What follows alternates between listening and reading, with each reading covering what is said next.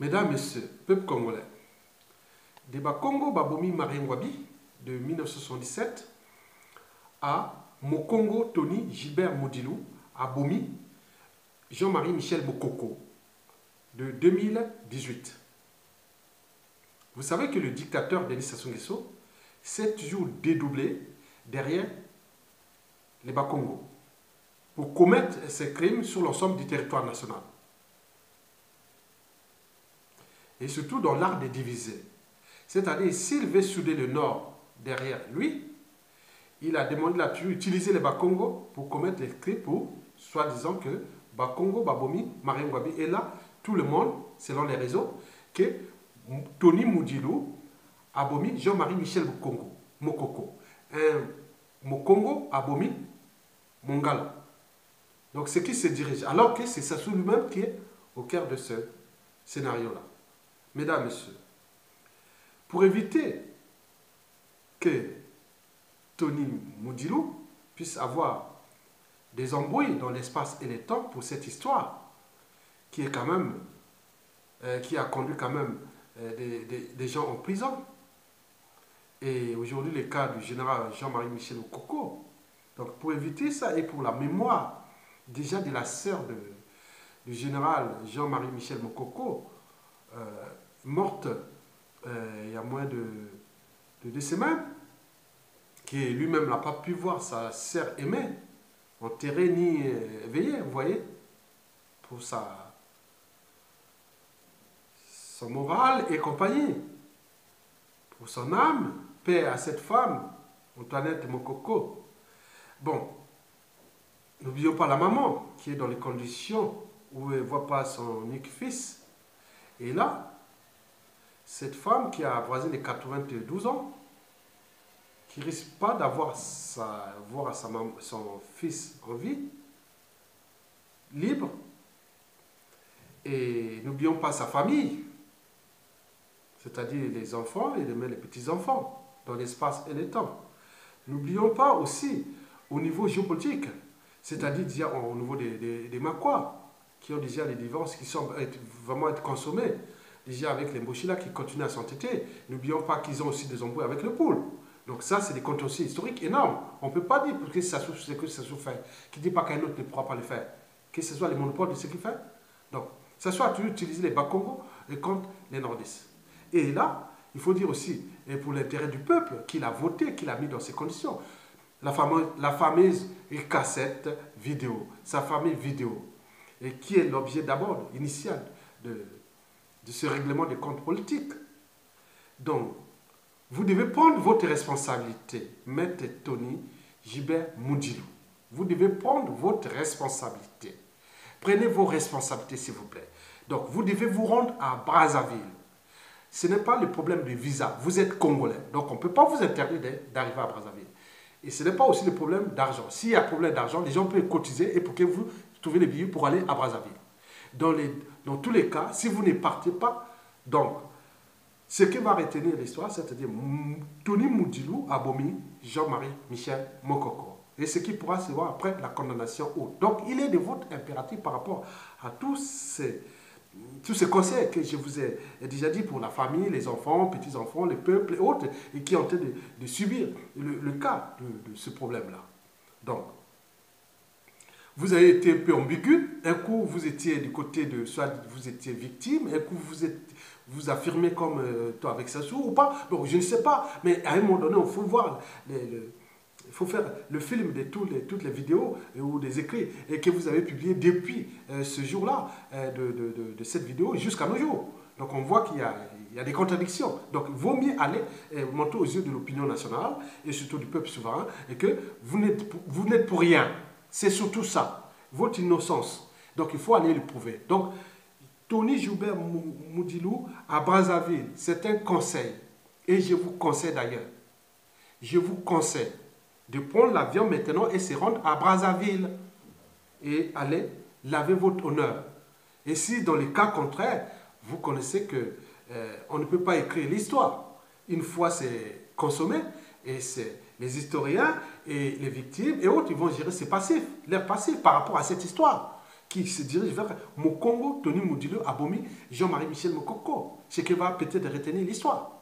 Et quand ça sera divisé autant, autant, ça sera comme ça. Donc, moi, je préfère euh, euh, laver les lèges et sales euh, devant le public et que d'aller se réfugier devant certains médias et autres. Donc, vous avez un cas qui est là, vous devez vous rendre à Brazzaville. Et c'est obligatoire. Et c'est impératif. Vous devez aller. Peut-être qu'on vous a déjà préparé une date et que vous venez, venez intervenir. Mais il faut aller dire la vérité.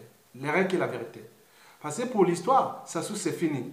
Mais ce qui retiendra ce peuple du nord au sud et l'est à l'ouest avec cette histoire, et que vous êtes venu rentrer peut-être pas involontairement, mais peut-être, vous savez, bon, mesdames, messieurs, peuple congolais, je vous informe par ailleurs que le règlement de compte politique du dictateur Denis Sassou Nguesso euh, contre le président Jean-Marie Michel Mokoko vient euh, une fois de, plus d'accoucher aux yeux de, euh, l'opinion internationale, surtout aux yeux du monde judiciaire et, surtout tout ce qui touche la, la, criminalité et n'oublions pas nouveaux scientifiques.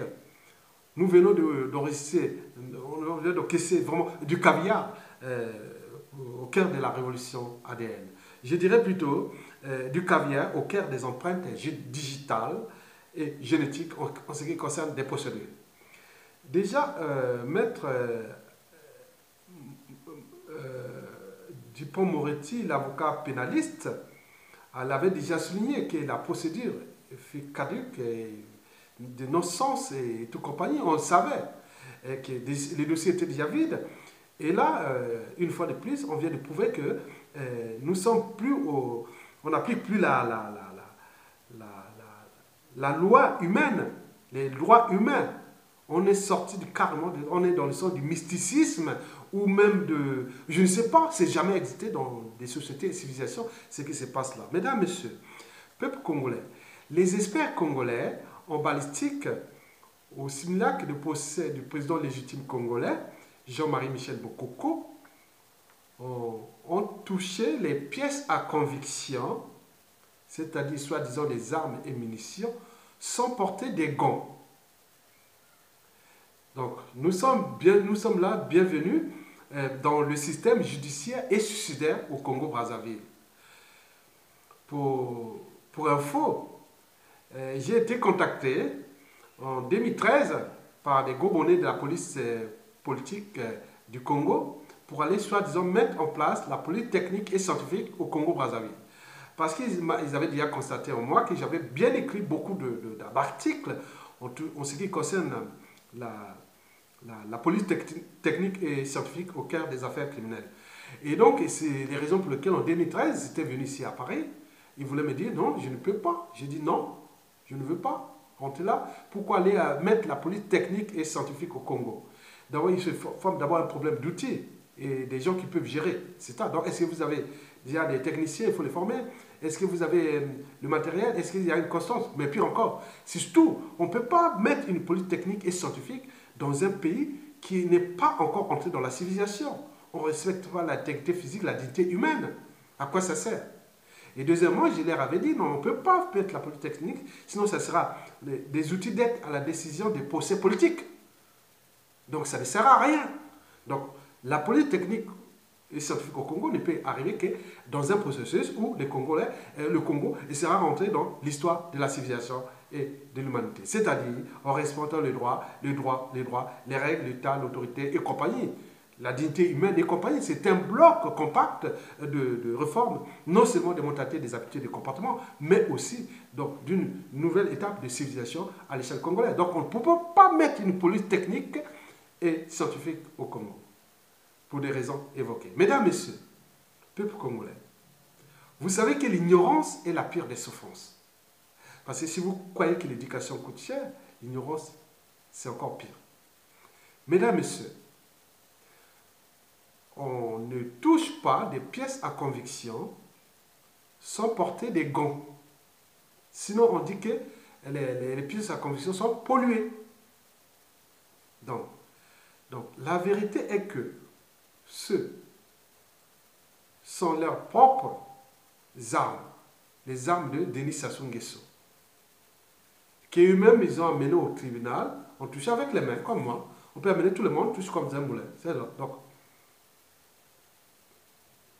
bon, s'il s'agissait de faire, ils n'ont qu'à faire euh, le prélèvement des empreintes euh, pour nous démontrer que c'est bel et bien euh, des armes du général Jean-Marie Michel Mokoko. C'est du caviar, c'est génétique. Même un enfant, oui, un enfant aujourd'hui sait bien que, même l'éducation, mais peut-être pas là au pays, mais ici en Occident, on sait l'ADN, on sait on touche pas, des trucs comme ça, ça risque. On connaît la révolution ADN. Mais là-bas, bien sûr, l'ignorance est là. Donc il y a les empreintes digitales, il y a les empreintes génétiques et compagnie. Donc ils n'ont qu'à faire les prélèvements. Donc cela veut dire que cette pièce à conviction devient caduque, elle est polluée. Mais pour la défense, elle doit aller dans ce sens, parce que la défense est côté du, du, dictateur et de ses, moyens, parce que le euh, général Mokoko n'est pas du côté de la défense. Lui, il est du côté de la partie civile, c'est-à-dire les côtés des victimes, c'est-à-dire le général Jean-Michel Mokoko et le peuple congolais. C'est sans eux les victimes. La défense, c'est Sassou Nguesso et tout ce qui représente l'État Sassou Nguesso au Congo-Brazzaville. Donc, la défense de Sassou Nguesso doit révisiter euh, euh, méthodes, euh, ces modes de, méthodes de défense, oui. Déjà, la procédure est déjà caduque. Parce que je ne sais pas pour, pour ce milieu pollué, on peut encore parler que c'est des pièces à conviction. Donc, il faut demander une expertise génétique ou digitale et compagnie. Mais donc, il faut, il faut accorder l'argent pour le peuple et qui souffre. Aller faire où? Il n'y a pas de police technique scientifique au Congo. On va les faire où? Ça va coûter encore combien? 5, 10 000 euros pour rien? Donc, vous imaginez Donc, les armes présentées au parquet aujourd'hui, le 9 mai 2018, au tribunal de grande instance de Brazzaville, comme des scellés, sont sortis de la DGST. Oui, ils étaient sortis de la DGST déjà. Le lundi 7 mai 2018 à 10h devant témoins pour emmener au parquet dans une BJ de couleur blanche. 16 minutes ont suffi pour dépoussiérer ces armes. Ces armes qui servent à inculper les opposants sur la détention illégale des armes et munitions de guerre sont gardées jalousement dans le bureau du sergent-chef Oyenge Léo de la DGST. Mesdames, Messieurs, et le problème c'est que ils ne savent pas que ce qu'ils sont en train de faire comme bêtise ou ignorance et tout ça qui rend les règles des procédures euh, euh, pénales et autres, ils sont vus, aux yeux du monde entier. Ils ne voient pas qu'ils se ridiculisent aux yeux du monde entier. Les médias et réseaux sociaux. Ils sont en train de se ridiculiser. C'est énormément. Donc, on n'est plus dans la, procédure judiciaire ou pénale autre, on est carrément dans un autre monde. Même, je dirais, avant même le néolithique. On est encore au paléolithique. Mesdames, Messieurs, peuple congolais, en terminant, je vais lire un peu une réaction venue d'un jeune qui a écrit, écrit ceci dans Baza News. Faites-les savoir aux jurés par tous les moyens. Radio, réseaux sociaux et écrit aux jurés. Bon, ça c'est ce qu'il dit. Bon, l'autre l'a dit, ridicule. À quel, à, quel moment euh, Sassou et ses bouffons, euh, ces, bouffons euh, travaillent pour le bien du Congo. Bon, donc, et non, ils passent leur temps à fabriquer que des, des trucs. Pour eux, vérité ou mensonge, c'est pareil. Donc ils passent leur temps à fabriquer des affabulations, des, des, trucs, vraiment c'est terrible. Donc euh, comment aller travailler dans un pays que les investisseurs et autres? Donc on n'est pas, on ne va pas travailler avec dans un pays qui, se comporte de cette manière. Et toute l'Afrique francophone est en train de voir. Voilà la France-Afrique, les conséquences de la, France-Afrique médiévale, au Moyen-Âge. C'est pareil. Donc, vous verrez plus jamais ça dans le monde anglophone africain. L'Afrique anglophone, regardez, vous ne verrez pas ça majoritairement. Mais un pays qui se disait parmi les rangs euh, de l'Afrique francophone, le Congo, qui fait ça, mais imaginez, aux yeux de la, du, rapport entre les deux blocs, anglophones et autres, regardez, donc on monte aux yeux du monde, même aux yeux de, la, de Rwanda, il dit Ah oui, on avait raison de s'affranchir de cette France-Afrique. Regardez un pion de la France-Afrique qui est en train d'être maintenu et qui est en train de se comporter. Euh, voilà. Bon, l'autre là, ils sont bêtes comme des dindons. L'autre, il dit oui, ils sont bêtes comme des dindons parce que l'ignorance c'est la pire des souffrances. Et l'autre, a écrit, écrit un autre, il s'appelle, bon, je ne vais pas citer son nom, pas droit. Il a écrit La justice congolaise n'est pas au courant que le monde entier les voit. Oui, bien sûr. Mesdames, Messieurs, bon, ceci dit, donc je vais lire un peu petit communiqué publié par euh, la, les résistants et qui m'a été relayé par l'ancien conseiller du Premier ministre euh, André Milongo, euh, Alexis Miyayuku, qui m'a écrit, qui m'a envoyé ça. Bon, ben, donc, je vais le lire pour tout le monde. Donc, ça c'est une trame qui a été, un prospectus qui a été réfléchi et, publié aux yeux du réseau global pour qu'il soit partagé partout. Je vais lire ce, flyer-là. voilà, donc c'est écrit comme ça, a été, ça a été écrit, ça a été écrit ceci. Osez Messieurs les juges, Mesdames et Messieurs les jurés, acceptez-vous devant l'histoire, la nation et le peuple congolais meurtri, d'être les visages et les exécutants et hantés de l'injustice, de la violation des droits humains et de la perpétuation de l'imposture au Congo. Pour l'honneur du Congo, vous devez en finir avec la servitude volontaire. Trahir votre serment aujourd'hui vous condamnera demain. Votre jugement sera celui de votre éthique et de votre dignité. Les Congolais patriotes vous l'exprimeront, vous l'exprimeront au coin de nos rues, au bureau, dans votre quartier, votre village et dans tout le pays. Voilà le message, le contenu du message. Pour vous dire que le peuple a tous les derniers mots, les derniers jugements. De toute façon, je voulais tout dire que ça soit agonisant. Il vient de montrer aux yeux du monde entier et que ce régime-là qui va investir là-bas, donc il faut être malade. Il faut aller travailler avec ces gens il faut être vraiment malade pour aller encore dire Sassou Nguesso autre. Voilà ce qui se passe. Donc cette première pièce à conviction qu'ils ont montré là, des armes et autres, est caduque, parce que c'est déjà pollué. Donc il suffit de faire des aspects génétiques. Donc dites aussi à Mokoko qui n'est pas touché, peut-être qu'ils vont me faire des côtés. Bon, je ne vais pas vous donner des, trucs pour polluer un milieu. Donc il faut qu'ils fassent attention. Pour ces gens-là, ils, sont capables de tout. Donc il faudra demander une contre-expertise, euh, une expertise euh, déjà euh, digitale et génétique de soi-disant pièces à conviction. Après arrivera celui de maître Tony Gilbert Moudilou pour éviter que euh, l'histoire retient que Tony Moudilou a abomi euh, Jean-Marie Michel Mokoko. Donc, il faudra qu'il se rende à Brazzaville pour ce, cas-là. Maintenant, pour la troisième pièce à conviction, paraît-on, il se dirige vers la, sur les soi-disant les ninjas. Donc, comme si Mokoko est allé avec les, milices euh, qu'il les entraînaient pour aller faire la guerre dans le pool, vous imaginez les dédoublements de la personne. Et lui, il est tranquille là-bas au téléphone, il, fait, il donne des ordres, et autres personnes peuvent venir le chercher là-bas au Yo. Bien sûr que, pour combien de temps encore Il lui reste là-bas. Donc, il sait bien qu'il s'enfonce dans un sable mouvant. Et donc, rien ne va plus marcher au Congo, tant que ça se gère là. Ça, c'est sûr. La démobilisation est totale. Euh, la méfiance et la défiance est totale.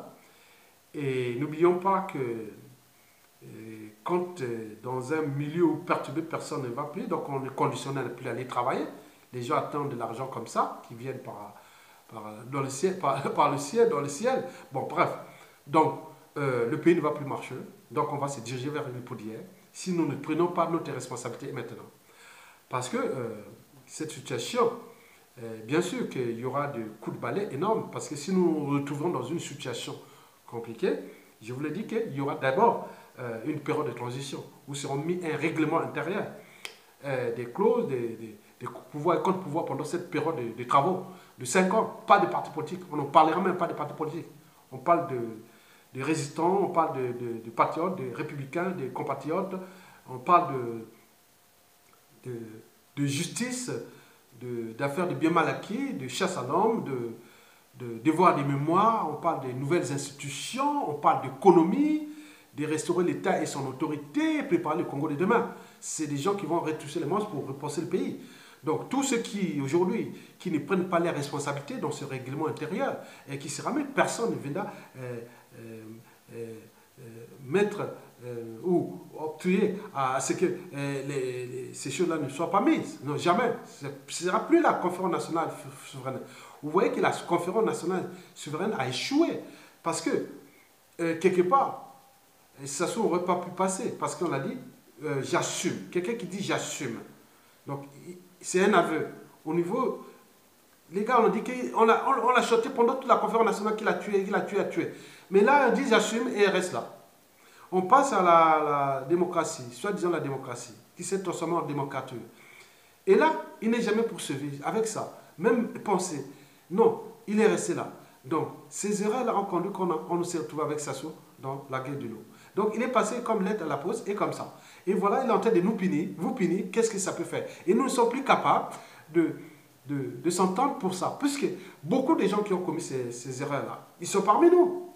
D'autres sont dans le pouvoir, d'autres sont résistants, résistants d'autres sont cachés. Donc, ils ne veulent pas que c'est ça parce que c'est leur crime de 91 à, nos jours.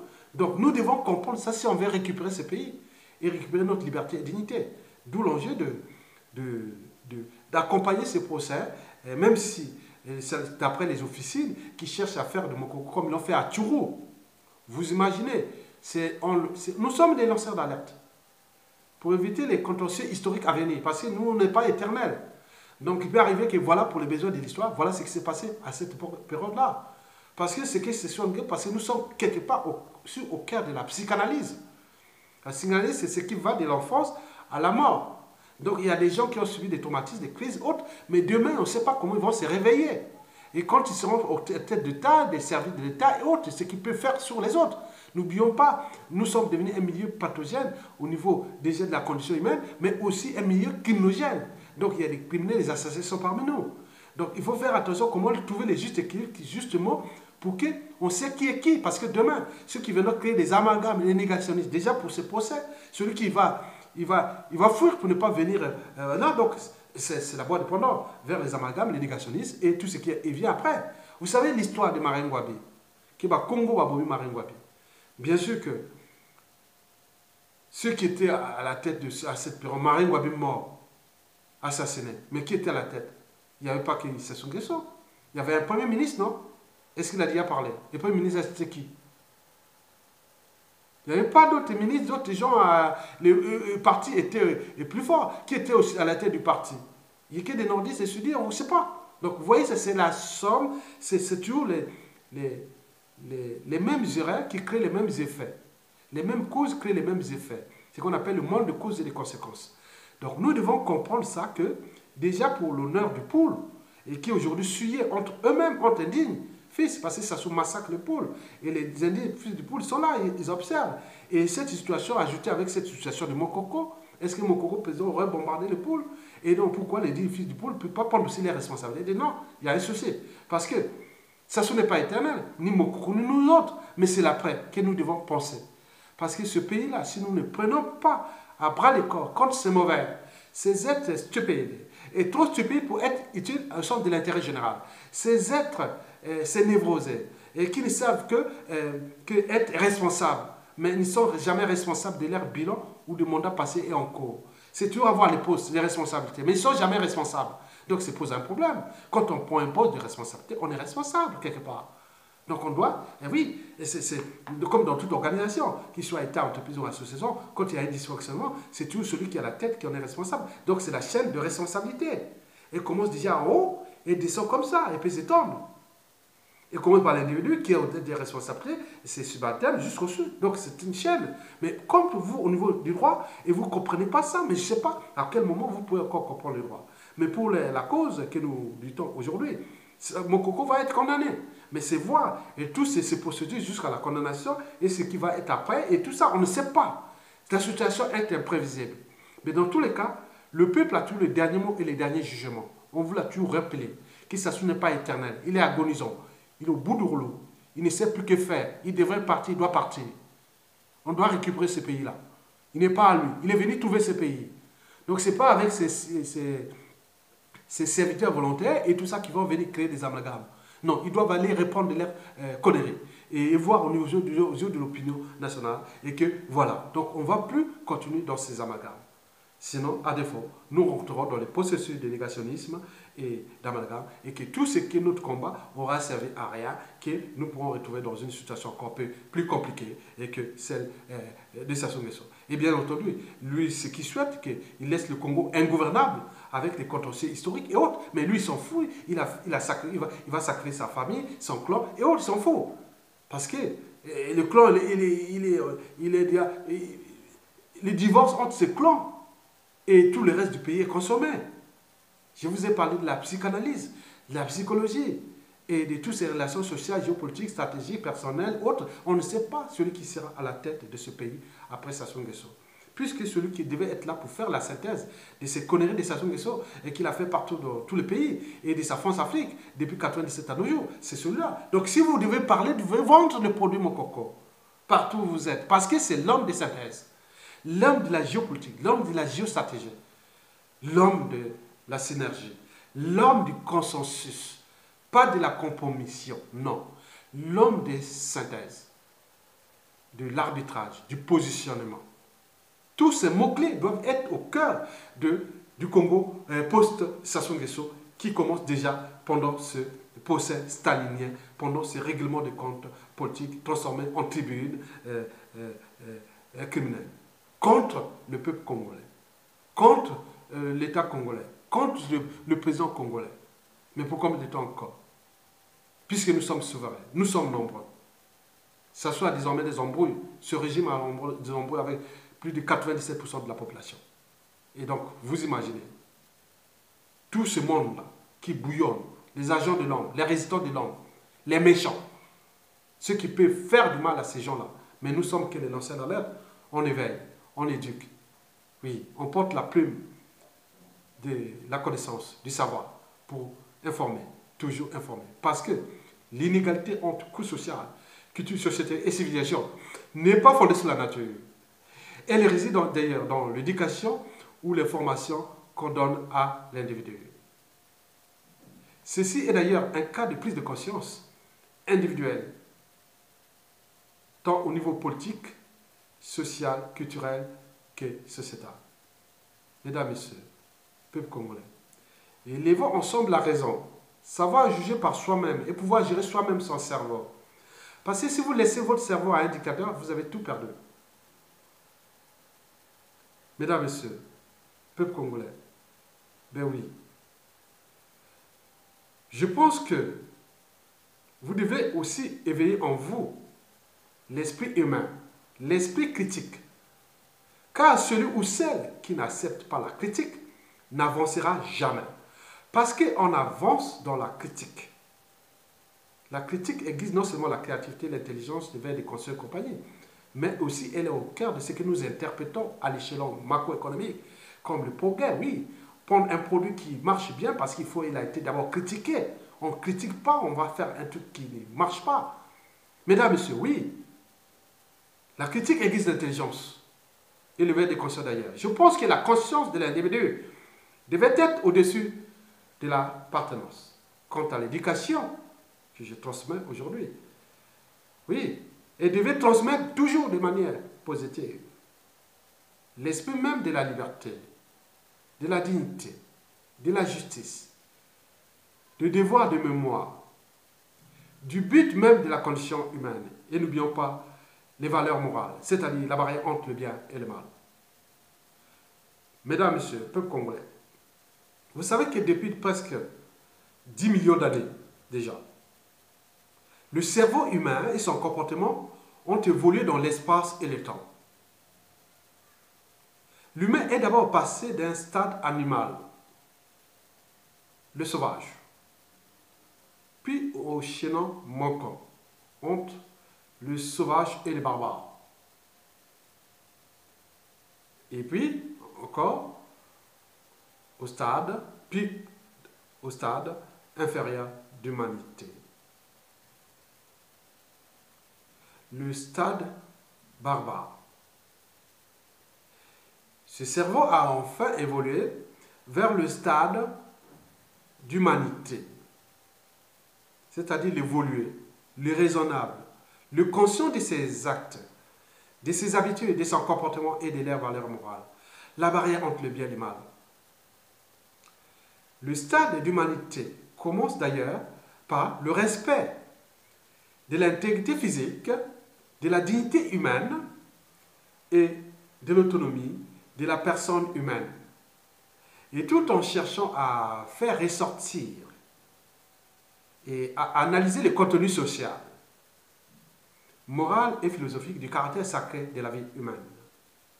On ne peut par ailleurs parler des stades supérieurs d'humanité que pour un être qui s'est affranchi de la sauvagerie, de la barbarie, des barrières de la raison et de la conscience, c'est-à-dire qu'il est en cours où on devient d'être civilisé. L'idée du civilisé est peut-être interprétée sur différents aspects, différents aspects humanistes, amoureux, philosophiques, politiques, socio-économiques, culturels, culturels, écologiques et sociétales sur différentes échelles.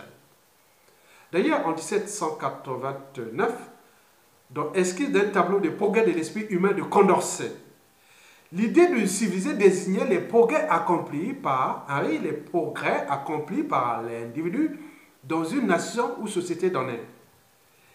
Il fut possible de passer de la barbarie à l'état de droit, des citoyens, de civils ou de civilisés, quels que soient les droits positifs en vigueur ou les autres facteurs locaux tels que l'ethnie, la nationalité ou la religion. En tenant compte de l'espace et des temps, nous sommes partis du paléolithique, puis le néolithique, arrivés à l'empire euh, chinois il y a 5000 ans, après l'égyptologie il y a 600 ans avant Jésus-Christ, et 300 ans avant Jésus-Christ, nous sommes arrivés à l'empire grec avec l'arrivée de la citoyenneté, et puis arrivé Jésus-Christ. Du 1er siècle au 5e siècle après Jésus-Christ, c'était l'empire romain, les grandes conquêtes, et autres. Et puis, du 5e siècle au 9e siècle, l'Antiquité, avec l'arrivée de l'islam. Et n'oublions pas le Moyen Âge, entre le 9e siècle et le 14e siècle, avec toutes ces caractéristiques qu'on connaît bien du Moyen Âge, l'inquisition, l'arbitraire, la paresse intellectuelle, le manque des règles et compagnie.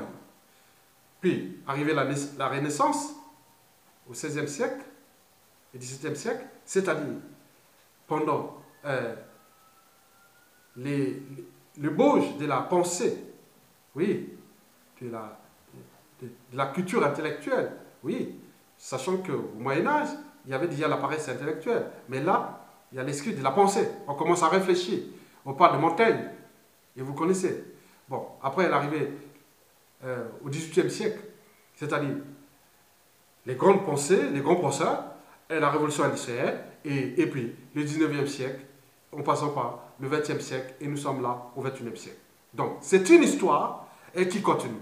Donc, nous ne pouvons pas laisser un être humain détruire cette histoire qui s'est construite au Congo-Brazzaville aussi, à travers les médias et réseaux sociaux, le monde global, et dans cette interdépendance qui ne cesse de monter aux yeux du monde que la pleine conscience mondiale est en cours de téléchargement sur tous les plans juridiques, euh, institutionnels, euh, économiques, sociaux, euh, écologiques, existentiels et compagnie, contestataires et autres. Donc le monde, on ne va plus laisser un individu vouloir détruire coûte que coûte les autres et impunément comme ça. Ça ne peut plus se faire. Donc nous devons prendre notre responsabilité à cette échelle du Congo-Brazzaville. Donc le procès du président Jean-Marie Michel Mokoko et cette, ce simulacre de, de, de, sauvagerie et de barbarie qui, aujourd'hui, s'il fallait le placer, ce régime, il est entre le stade euh, inférieur d'humanité et le stade d'humanité.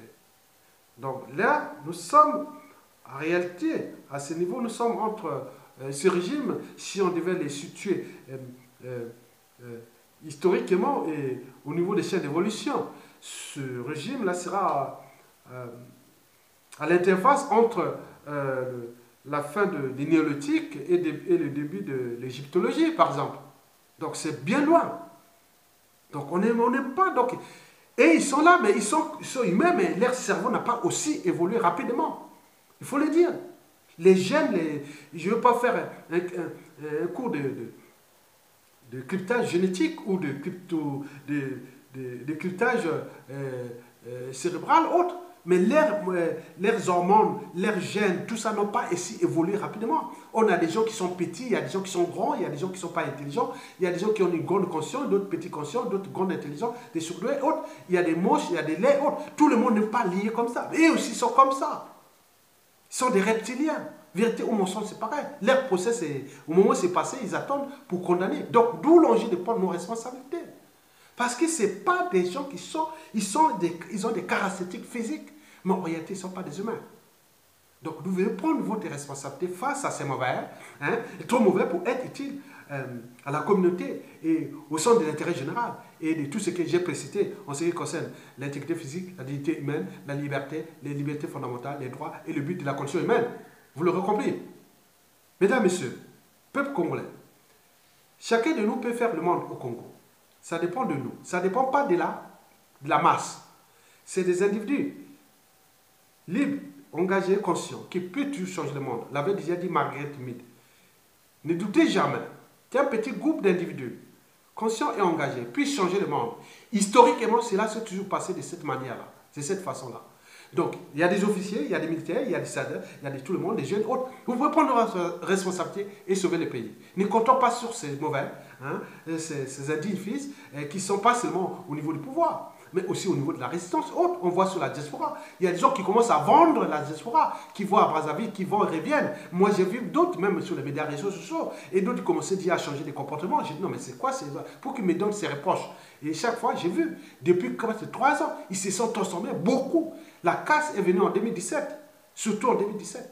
Il y a eu la casse dans la, la résistance sur la place de Paris où tous les gens qu'on a vus, vraiment ce qu'on croyait qu'ils étaient avec nous, c'est les dangers. On est avec des, des des traîtres et autres, ils voient les dangers. Et c'est là qu'ils veulent aller diriger le Congo. Donc il y aura un coup de balai hein, euh, après Sassou Nguesso. Parce que tout ce qui est fait là, on ne va pas continuer comme ça. Parce que si vous voulez faire du propre, vous n'allez pas faire avec du sale. Donc vous devez avoir les gens, c'est-à-dire tout est à réformater, à repenser au niveau de l'esprit de la libération du Congo. Déjà autour de cette période de transition qu'on a déjà parlé. Bon, donc, mesdames, messieurs, peuple congolais, donc l'avenir est à vous. Donc le procès là, qu'ils condamnent, qu'ils assassinent, qu'ils font comme tu ou pas, le mal est consommé. Donc c'est à nous de prendre nos responsabilités. Parce que Mokoko a déjà semé des graines. Ils sont nombreux. Et donc, étant donné ce contexte historique et tout ce qui se passe, donc on ne sait pas. Vous connaissez en Afrique la chance que nous avions, parce que les Africains, ils changent comme des juroides, hein, surtout à notre échelle, ce pays où la mentalité des habitudes sont déclassées. Mais au moment où Sassou Nguesso tombe, il n'est plus là. Vous allez voir ces gens-là, on va les récupérer. On va les récupérer. Vous savez, récupérer. Maintenant, après, on saura comment les traiter. Mesdames, Messieurs, je vous remercie.